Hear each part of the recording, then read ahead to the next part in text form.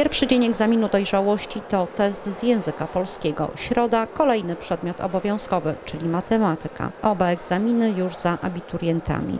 Pisemne matury zakończą się 20 maja i będzie to również koniec całej sesji egzaminacyjnej. Z powodu pandemii w bieżącym roku szkolnym zrezygnowano z ustnych egzaminów.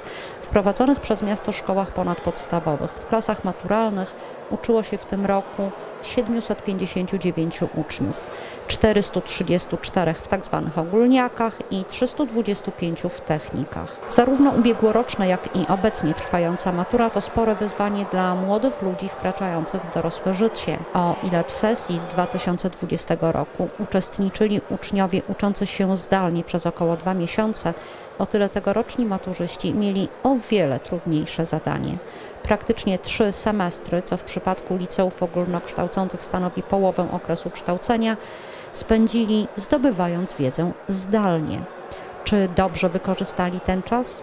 Okaże się 5 lipca, gdy poznają wyniki testów.